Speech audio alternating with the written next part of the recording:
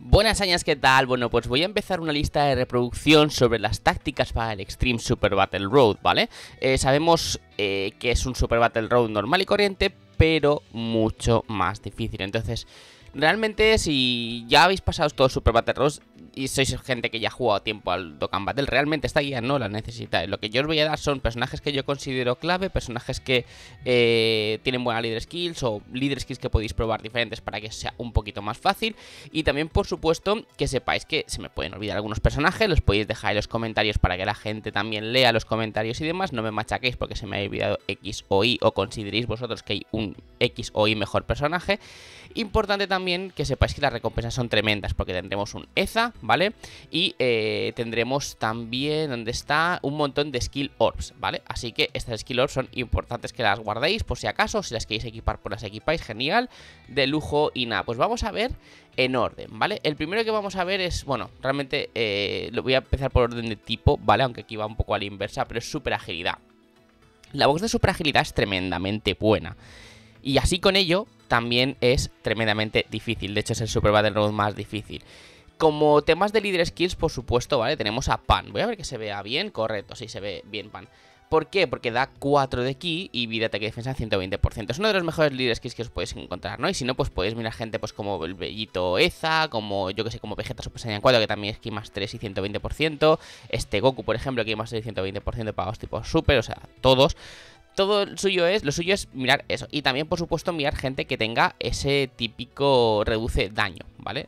Por ejemplo, eh, tengo aquí a la vista este Goku y Arale que lo que dicen es que si están en el eh, primer turno, si son el primer atacante, el daño recibido lo reduce un 30%, ¿no? Pues estos son el tipo de personajes que tenemos que llevar, o incluso Super Bellito, que va a reducir un daño un 80%, ¿vale? Aunque esto es Super Eza, ¿vale? Pero con Eza es prácticamente igual, ¿vale? O sea, con Eza sigue teniendo ese daño recibido menos 40%, o sea, menos 80%, lo cual va a ser genial, genial, genial. Aparte, si bajas de un punto de vida, ¿no? Pues vas a ver encima dónde están los superataques de los enemigos y todo, o sea que bastante, bastante bien. Ya digo, líder skills hay muchas, ¿vale? Tenemos, por ejemplo, Goku's Family, eh, Kame tenemos Super Saiyan, etcétera, etcétera. Entonces, yo lo que os he dicho, ¿vale? Es varias tácticas a lo que os he hecho, básicamente varias tácticas, ¿no? Porque podemos hacer, por ejemplo, un equipo con Goku's Family, ¿no? Un equipo con Goku's Family donde podemos llevar a Goku Super Saiyan 4 de líder y como podemos ver tenemos muchas alternativas. El Goku Genkidama, buenísimo para sellar superataque. Gohan, que si le damos un par de turnos puede plantarse con unas buenas defensas, pero ojito porque va a comer mucho daño, ¿vale? Tenemos gente como Bardock, de hecho, curiosamente, ¿vale? Bardock sabemos que es bueno contra Wicked Bloodline. Si tenemos la suerte de que en la Stage 2 nos toque este Freezer y en la Stage 3 nos toque este Cooler, ¿vale? Incluso, bueno, también aquí tendríamos Freezer y King Cole, ¿no? O sea, Bardock puede ser bastante, bastante bueno. Va a entrar en Goku Family también. En la Stage 3, como podéis ver, no hay ningún Freezer Family, ni en la Stage 1, ¿vale? Pero, oye, eh, si tenemos la suerte, es una opción muy buena para llevar, porque digo, va a ser transformación y críticos todo el rato, ¿vale? Por supuesto, Pan, tenemos este support, aunque va a comer mucho daño, pero es un buen stunner también. Tenemos este Goku que va a reducir daño, tenemos este Goku que va a ser un healer tremendo y cambia esferas tremendo, ¿vale? O sea que tenemos ahí bastantes cosas buenas. Y no solo eso, sino que además Goku Super Saiyan 4 también te permite la habilidad no solo de meter un Goku Family con un buen boost, sino también un super agilidad, por lo cual todo esto se transforma también y no solo puedes meter todo lo que acabamos de decir, sino que también puedes meter a cualquier otro personaje aquí que te venga bien, como por ejemplo podría ser Super Bellito, ¿vale? Para que podamos tener ahí un buen tanqueo, counters, etcétera, etcétera, incluso llegar a ver dónde está el super ataque. Así que esta leader skill es muy, muy, muy buena. También podemos hacer lo mismo con Kame Kameha, que también, como podemos ver, tiene Kame Kameha de líder, pero también podemos meter un 120% de super agilidad, lo cual viene súper bien, ¿no? Pero bueno, también Goku Super Saiyan 4 puede estar aquí, que ojito con los counters. Podemos meter también a este Goku, podemos meter eh, al Kaioken, aunque perdamos vida, pero créeme que va a estar muy bien. Al principio va a tanquear más o menos bien, ya digo más o menos, porque super agilidad come un montón de daño y va a hacer también bastante, bastante daño. Pero sobre todo Kame Kameha es porque, o sea, digamos, compaginemos con, eh, con super agilidad en general, ¿vale? Para que podamos meter prácticamente cualquier personaje. En estos aspectos, Goku Super Saiyan 4 es un poco mejor líder, ¿vale? Porque te va a permitir más tipos de personajes, pero bueno, que si no tienes a Goku Super Saiyan 4, pues tenéis a este Gohan, ¿vale? Que aquí está.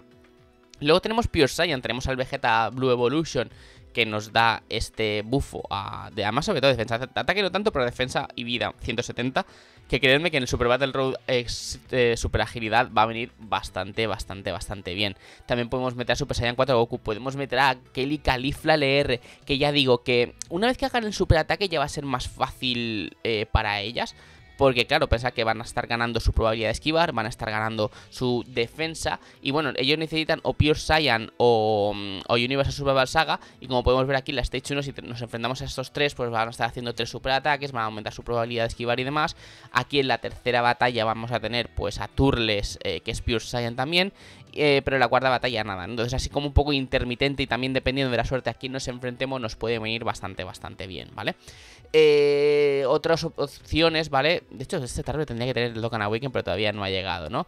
No mucho más realmente, Goku de las transformaciones como hemos dicho, el propio Vegeta Evolution, Vegeta Super Saiyan 4, que defensivamente no está mal, pero igualmente ya digo, se come mucho daño. Esta stage es muy difícil, ¿vale? O sea, plantaos con que esta es la stage más difícil de todas, ¿vale? Así que, ojito con eso. Y como no tenemos ningún reductor de daño, pues eso, también tenemos al Goku Super Saiyan 2. Este yo creo que aquí en este equipo Pure Saiyan sería más indispensable, porque ya digo, va a estar creando muchas esferas. Cada esfera de aquí que coge va a estar dándose vida y va a estar dándose defensa, por lo cual va a ir muy bien. Y después de hacer super ataque aumenta mucho su defensa, lo cual también va a ser muy potente para poder no recibir daño, ¿vale? De hecho, en general es una muy buena opción que podemos tener en este personaje, ¿vale? Luego tenemos también eh, Super Saiyan. Y es que, bueno, este Goku Genki LR es un Super Saiyan. Y el equipo es curioso. Digamos que no sería el mejor, pero es curioso. Trunks va a estar defendiendo decentemente bien como el resto de personajes. Tenemos a Gohan, Super Saiyan, también que va a ser tremendamente bueno. Y tenemos a Gogeta, que con la probabilidad de esquivar puede funcionar bien, pero si no va a comer muchísimo daño. Tenemos a Super Bellito, que va a estar funcionando súper bien aquí, ¿vale? Tenemos a este Goku, que va a estar tanqueando decentemente bien. Así que opciones también hay, ¿vale? O sea, son alternativas. Quizá ya esta es un poquito más difícil porque pensar que Super Saiyan es que solo con estos tres no es suficiente, ¿vale? O sea, los dos grandes serían estos dos, Super Bellito y poco más, ¿vale? Pero ya digo, se queda como un poco cojo y aparte este Goku no tiene otra líder skill, ¿vale? O sea, que este Goku solo tiene Super Saiyan, no como otros LRs que tienen el 130% y luego pues te dan un bufo 100% a los Super Agilidad en este caso, ¿no? En este caso no, en este caso, por ejemplo, por desgracia, eh, solo es Super Saiyan, eso sí, tienes el Ki más 4, ¿vale? Lo cual ayuda un montón, un montón, un montón. Luego también tenemos eh, la opción de hacer un combo con Gogeta Super Saiyan de líder, el que va a Super Saiyan Blue, y es hacer un equipo entre fusión y entre Movie Heroes, ¿vale? Y esto es un buen combo porque puedes coger, por ejemplo, a News LR que ahora que están en, fusiones, pues nos viene muy bien. En fusiones nos viene muy bien porque antes no estaban en fusiones, ¿vale? Pero como podéis ver, fusiones se queda corto, ¿vale? Fusiones se queda corto, pero si rellenamos a los niños LRs, al Gogeta, como mucho a lo mejor este Gotenks, pero es que tampoco lo termino de ver, ¿no? Pero luego le metes Movie Heroes, o sea, sí, Movie Heroes, que tienes este Goku, Super Saiyan. Tienes a Arale y a Goku, que ya digo que es bastante bien porque va a estar también cambiando esferas a Rainbow. Y en el primer atacante va a ser un personaje que va a estar tanqueando decentemente bien. Tienes a este Ohan, que es Stunner. Tienes a Tapión, que va a estar reduciendo el 50% del daño. Que igualmente va a comer mucho daño Tapión, ya os aviso, ¿vale? No es el mejor tanque del juego para, para esta stage. Pero es que este daño recibido menos 50% me va a venir muy bien. Y aparte también baja el ataque, lo cual es otra de las opciones muy buenas, ¿de acuerdo? Personajes que tengan este lowers attack puede funcionar muy, muy, muy, muy bien. ¿Vale?